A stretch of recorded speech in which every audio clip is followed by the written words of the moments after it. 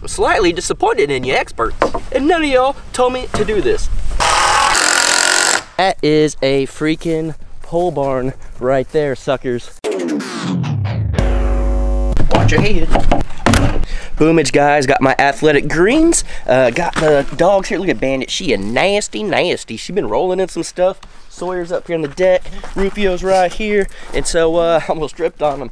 We're going to uh, drink this, go feed the animals, get the day going. Guys, we have a barn to build. got my uh, trailer loaded down. This will be the entrance coming right through here. And then the barn straight ahead. All right, boom, guys. Over here, got the uh, lumber here. Let's get started. It is a wet, rainy day, like I said, but hey, work's gotta get done. All right, the first thing I'm gonna do, take these uh, boards off the bottom and replace them with the new ones. Before I took them off, I went ahead and marked the tops of the boards so I know where to put them.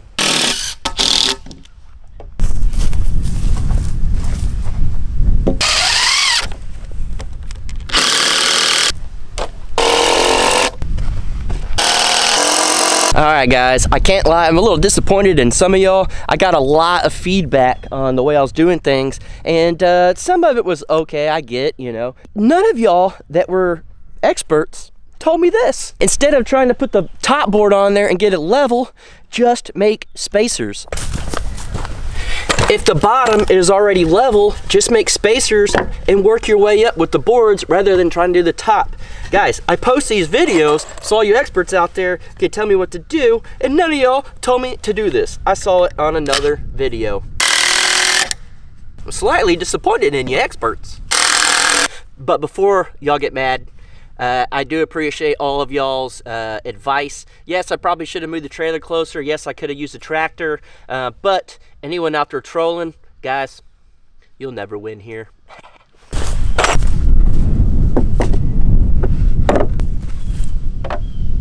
Then I'll just get this board, which will be my spacer right here, so I know how far it goes out. And then just push that board over.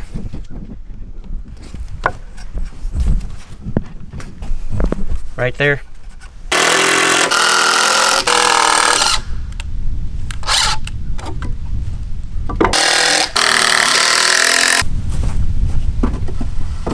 Get your spacer again.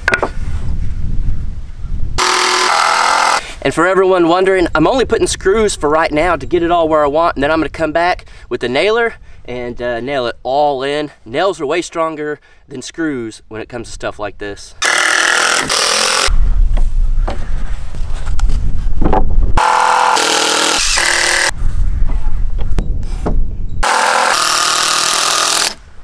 Looks pretty good, don't it? Of course, this right here will be cut out. For this next one, I'm doing 21 inches instead of 24 for my uh, door.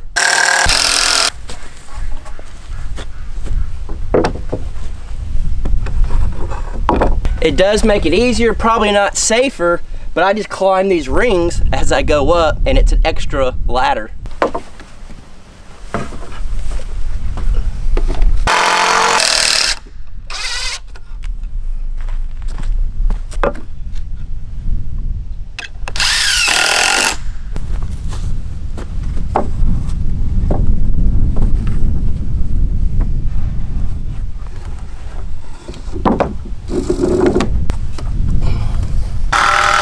I don't think you guys could tell, but I'll show you up close. This is perfectly level on top.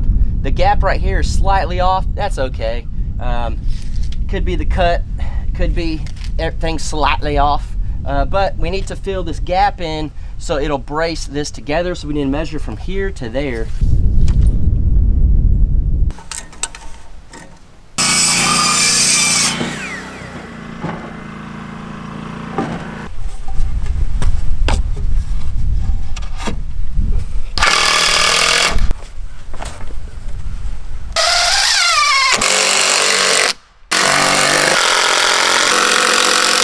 board is braced together and it's stuck in here really tight. It'll keep it nice and square.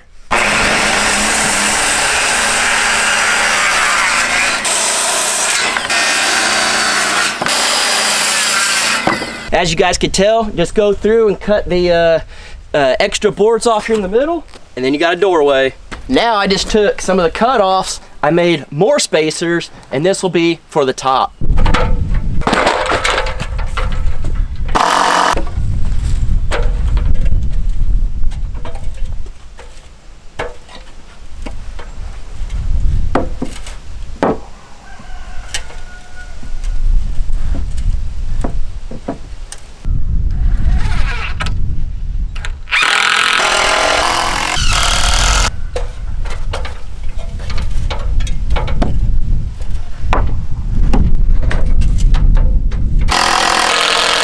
And then again, we'll brace the back of that top one as well. Now it's time to do those steps again on this side.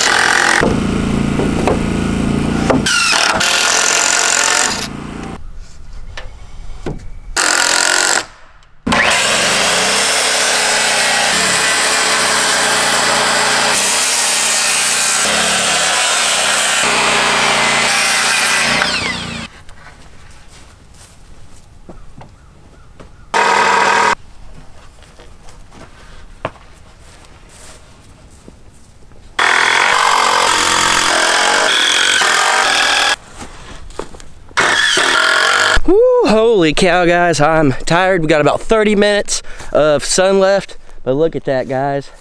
That is a freaking pole barn right there, suckers. That looks good. I went ahead and put a bunch of concrete that I had um, in all the holes because it's going to rain the next few days, which sucks because I'm not going to be able to work on this too much. But I am uh, going to be able to let the uh, concrete set in good and all of that. But man, I am pumped with the way this is looking. Again, clearly, these 4x4 posts, it'll be cut out right there, and that'll be a doorway. And then clearly right here in the front, you have the uh, front of the barn and then the back over there. Now, just to give you guys a little perspective, um, I'm gonna walk over here by the uh, pig pen and hopefully you guys will be able to tell what it's looking like, the size, where it's set up with the uh, pig pen and all of that. So we got our pig pen and then we got our barn back over there. You could tell the truck and the size of it next to the truck. And then if you look straight down the fence line is the front of the barn. But I mean, look at that, guys. That's the beginning of a pole barn. And the awesome thing is, there's a lot of people out there saying, it's another project. I won't, I'll start and I won't finish. Haters gonna hate, but the thing is, I want to call out the haters right now. If I finish this barn, will you comment and say, good job for you, you finished it? Probably not because haters gonna hate. That's why I just do what I do out here. And uh, I'm having a blast building this. Like I, I truly, truly am. Um, building a project this size is crazy. I have never built anything this big. I've never built a pole barn before. I'm building this out of my head. Uh, I am just very, very happy with it. Very, very pleased with how it's turning out. And I'm sure the animals are going to absolutely love it. But now, a bunch of rain.